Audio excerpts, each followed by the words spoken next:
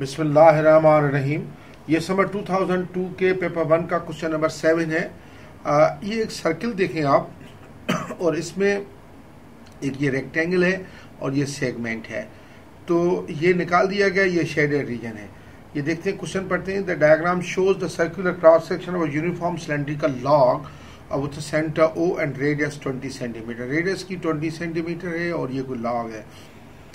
Uh, the points A, X and B lie on the circumference of the cross section and AB is equal to 32 centimeter. ये A और B circumference में lie करते हैं X B ठीक है और इसकी uh, जो है A B 32 सेंटीमीटर है show that angle AOB is equal to 1.855 radians carried to three decimal places यानी एंगल AOB ये हमें एंगल दिखानी है कि 1.88 uh, 1.855 रेडियंस है अब इसके लिए देखें, ये 32 सेंटीमीटर ये 20 सेंटीमीटर ये भी 22 ये भी 20 सेंटीमीटर से होगा। तो अब इसको कोसाइन रूल लगा सकता हूँ मैं। देखें कोसाइन रूल अगर लगाऊँ तो मैं लिख सकता हूँ cos O A B must be equal to कैसे होगा? 20 का स्क्वायर और प्लस 20 का स्क्वायर माइनस थर्टी टू का square upon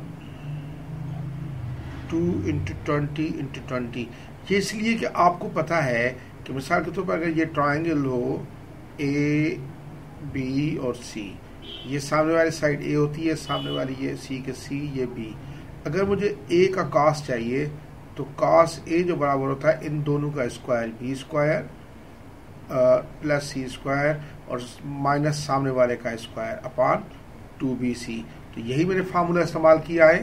तो आप देखें, इस तरह ये फार्मूला मैंने इस्तेमाल करके किया है। तो ये कैलकुलेशन करें और ये देखें कितना आ रहा है। ये कैलकुलेशन करें। आपका कैलकुलेटर रेडियन मोड में होना बहुत ज़रूरी है। ये कास ओ ए बी आएगा। कास ओ ए बी आपका आ रहा है minus zero point two eight अच्छा अब आप देखें कि ये कास ए बी तो A O B O A B आएगा। सॉरी ए मैंने गलत लिख दिया ओ ए बी नहीं है बल्कि ए ओ बी होगा।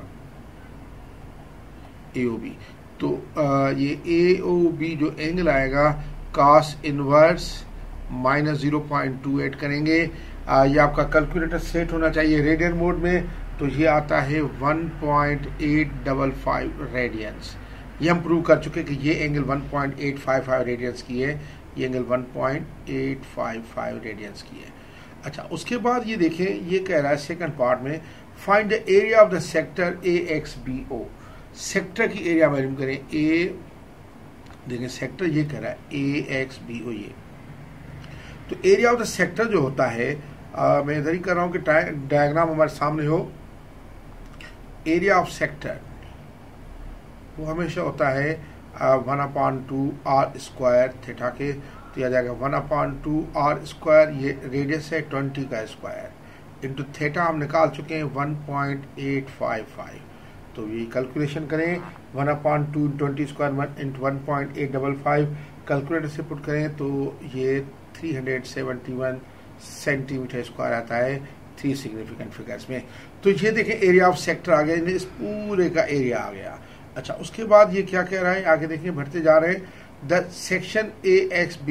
Where A B C is a rectangle with A D eighteen centimetre remove आ, ये पूरा सेक्शन जो है वो रिमूव किया जा रहा है जहाँ पे ये कह रहा है कि ये रेक्टेंगल है।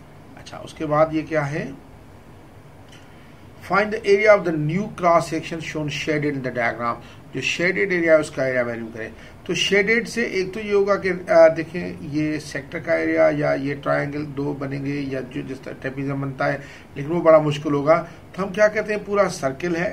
सर्किल के एरिया से आ, हम क्या करेंगे कि ये पूरा एक तो इसका ये सेगमेंट का एरिया ये निकाल देंगे सेगमेंट का एरिया भी निकाल देंगे और ये हम रेक्टेंगल का एरिया ये भी निकाल देंगे। तो जो सेगमेंट का एरिया होगा सेगमेंट का एरिया कैसे निकलेगा? आपको पता है कि सेक्टर का एरिया माइनस ट्राइंगल का एरिया तो पहले तो मुझे सेगमेंट का एरिया चाहिए। एरिया ऑफ़ सेगमेंट मालूम करूँगा। Area of segment area of segment ठीक है? एरिया ऑफ़ सेगमेंट होगा area of sector minus area of triangle तो देखिए, अब सेक्टर ये है। ये हो जाएगा एरिया ऑफ़ सेक्टर निकाल चुके हैं सबसे पहले। एरिया ऑफ़ सेक्टर तो इसने निकलाया भी है, मेरा ख्याल है, कितना है? थ्री हंड्रेड सेवेंटी वन तो डायरेक्ट लिख दें three hundred seventy one minus अब देखिए एरिया ऑफ़ ट्राइंगल ट्राइंगल ये दो टू ट्वेंटी सेंटर दिया है ये ट्वेंटी और ये एंगल है बीच में। तो जिस तरीके से अगर आपका ये ए बी सी ट्राइंगल होता है ए बी सी तो ये सामने वाली साइड ए ये सामने वाली सी ये बी तो ये होता है one upon two B C into sine A तो यार, इन दोनों का ये हो जाएगा तो ये एरिया ऑफ़ ट्राइंगल जो आ जाएगा one upon two into twenty into twenty into sine of ये हो जाएगा one point eight double five point eight double five तो ये हमारा three seventy one area of segment निकल आएगा।